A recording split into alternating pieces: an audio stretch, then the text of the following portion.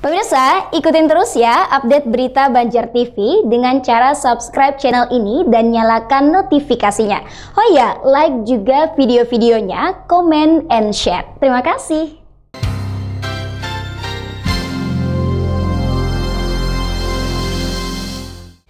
Pemirsa jelang Hari Raya Idul Adha tahun ini terpantau ketersediaan ikan laut hasil tangkapan nelayan kondisinya sangat melimpah. Setiap hari 10 hingga 12 unit kapal pengangkut ikan laut bersandar di Pelabuhan Perikanan Banjarmasin. Kepala Pelabuhan Perikanan Banjarmasin Rusdi Hartono, Jumat 2 Agustus dalam keterangannya menjelaskan, saat ini kondisi ketersediaan ikan laut hasil tangkapan nelayan sangat melimpah. Rata-rata setiap hari 10 hingga 12 unit kapal pengangkut ikan bersandar di pelabuhan perikanan. Hasil tangkapan ikan nelayan tersebut diangkut melalui laut menggunakan kapal dengan kapasitas 10 ton. Selain itu, suplai melalui jalur darat menggunakan mobil kontainer beserta pendinginnya dengan kapasitas hingga 15 ton. Menurut Rusdi saat ini, ikan dari Jawa yang dikirim ke Banjarmasin tidak hanya melalui jalur laut, akan tetapi bisa melalui jalur darat dengan mobil kontainer berpendingin. Tujuannya agar kondisi ikan tetap segar hingga sampai ke pelabuhan perikanan Banjarmasin.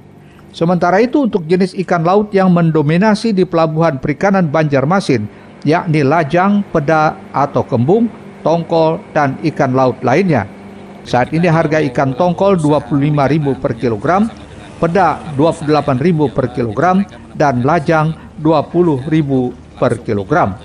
Alhamdulillah sampai saat ini stok ikan kita yang ada di Pelabuhan Perikanan Banjarmasin Masin ini eh, cukup melimpah karena seperti kita lihat eh, di belakang kan kapal perikanan kita ini ada 12 buah pada hari ini rata-rata isinya 10 ton.